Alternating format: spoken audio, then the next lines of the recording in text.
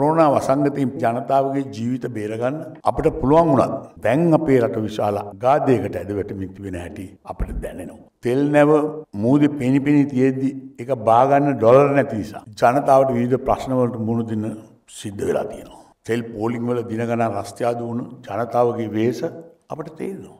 Gas ගන්න පෝලිං වල රස්තියාදු වුණු කාන්තාවන්ගේ වේදනාව අපට තේරුම් ගන්න පුළුවන්.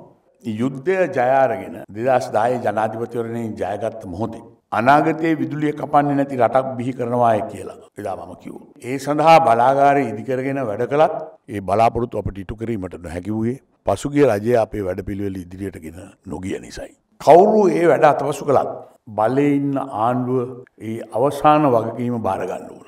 මිත්‍රෝනි අපි පාලිමෙන්තුව නියෝජනය කරන හැම පක්ෂයකටම ආරාධනා කළා එකතු වෙලා රටගුඩ ගමු කියලා. ඒ තාවේ නෑ. මේ වෙලාවේ පක්ෂ ගැන හිතනවට වඩා රටේ ආර්ථිකය ශක්තිමත් කර ගැනීමයි අප සියලු දෙනාගේම වගකීම වන්නේ.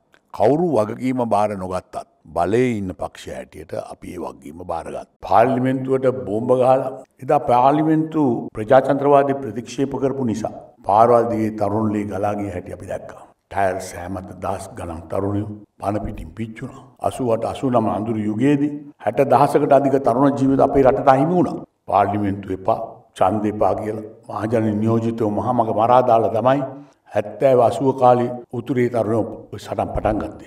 ටිකෙන් ටික පාසැල් දරුවනු විරෝත්තාවපලට පාරට ඇදගෙන යන්න පටන් ගත්තා. ඊළඟට කළේ පාසැල් දරුවම් බලෙන් යුද්ධට ඇදගෙන යන එක. එදත් පටන් ගත්තේ පාර්ලිමෙන්තුවම එපා කියලා. ආදරී දුපුතුන්ගෙන් ඉල්ලා සිටිනවා. ඒ අඳුරු අතීතයට මේ මව්බිම අයත් සැරයක් ගෙනියන්න එපා කියලා. ඔබ පාරි විරෝධතා දක්වන සෑම තප්පරයකම අපේ රටට ඩොලර් ලැබෙන තියෙන අවස්ථාව අහිමි වෙනවා.